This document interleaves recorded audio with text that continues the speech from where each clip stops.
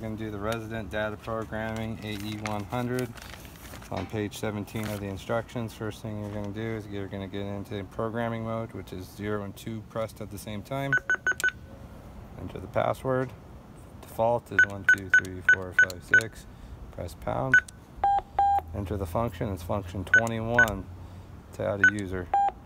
Enter the user unit. So we're going to go 3 90 is the next unit that we're using. So you enter the unit that you're going to enter. Press pound. Enter a name. We're just going to put test.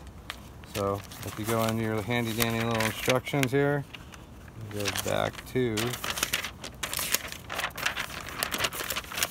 page 14 and they show you the letters otherwise you got to look at your phone. We're just going to put test in here. So 7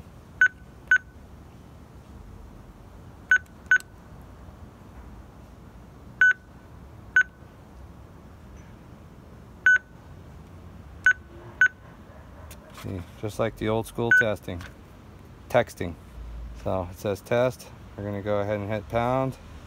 It accepts it. I'm gonna go ahead and enter my phone number in here. You guys can subscribe to my videos and you guys can like it and comment, but I ain't giving you my phone number.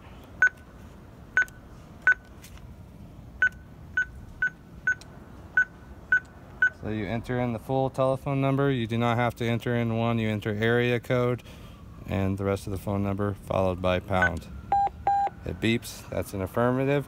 It asks you an entry code. If you want the, the tenant to have a four digit code, you can enter in a four digit code here followed by pound. We don't want an entry code, so we're just gonna hit pound. It's gonna say function. You're done with that entry right there. To get out of programming, you go 99 pound. You're back in there. We can go ahead and just scroll through. And there's the test. You go ahead and hit the call button.